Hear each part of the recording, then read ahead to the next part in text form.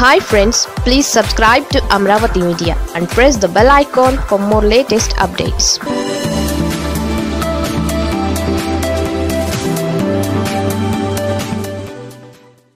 TDP Rajya Sabha ఆఫర్కు Ramoji Rao reaction ఇదేనట.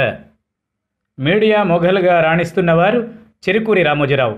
Telugu పత్రికా రంగానికి కొత్త వరవడిని తీర్చిదిద్దిన వారిగా ఆయనను చెప్పుకుంటారు. ఆయన అనేక ఇతర రంగాలలో సైతం రాణించారు. అయితే రామోజీరావు పంతొమ్మిది వందల డెబ్బై నాలుగులో ఈనాడు పత్రికను ప్రారంభించారు. ఆ తరువాత దేశంలో ఎమర్జెన్సీ వచ్చింది. నాడు కాంగ్రెస్కి వ్యతిరేకంగా దేశమంతా ఒక్కటిగా నిలిచింది. పత్రికా స్వేచ్ఛను హరించే చర్యలు నాడు తీసుకున్నారు. అయితే తెలుగు రాష్ట్రంలో నాడు ధైర్యంగా ఈనాడుతో పాటు ఆంధ్రప్రభ వంటి పత్రికలు వాస్తవాలు రాశాయి. ఆ తర్వాత రోజుల్లో కాంగ్రెస్కి వ్యతిరేకంగా రాజకీయం మొదలైంది. దేశంలో పంతొమ్మిది వందల డెబ్బై ఏడులో జనతా ప్రభుత్వం వచ్చింది. అప్పుడే ఉమ్మడి ఏపీలో కూడా కాంగ్రెస్ వ్యతిరేక శక్తులు ఒక్కచోట చేరి ఓడించాలని ప్రయత్నం జరిగింది. అయితే పంతొమ్మిది వందల డెబ్బై ఎనిమిదిలో జనతా పార్టీ రెడ్డి కాంగ్రెస్ విడిగా పోటీ చేస్తే ఇందిరాగాంధీ నాయకత్వాన్న కాంగ్రెస్ ఐకి నూట డెబ్బై ఐదు సీట్లు దక్కాయి. అయితే జనతాకు నాడు అరవై సీట్లు రెడ్డి కాంగ్రెస్కు ముప్పై సీట్లు దక్కాయి. అంటే బలమైన విపక్షం వైపు తెలుగు జనాలు తొలిసారిగా మొగ్గు చూపినట్లుగా అర్థమైంది.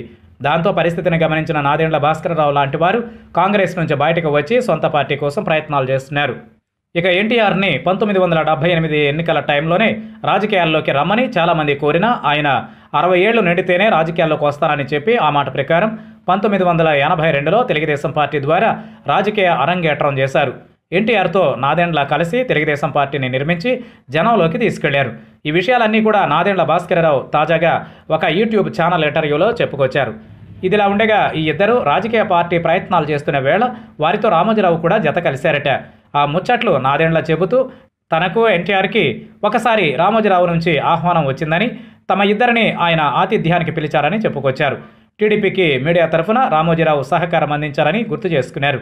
ఆ తర్వాత టీడీపీ ఎన్నికలలో గెలిచిందని దానికి ప్రతిగా రామోజీరావుకు రాజ్యసభ సభ్యత్వం ఇద్దామని తాను ఎన్టీఆర్ అనుకున్నామని దీని మీద తమ మధ్య డిస్కషన్ కూడా జరిగిందని నాదేండ్ల ఆసక్తికరమైన విషయాలనే చెప్పారు.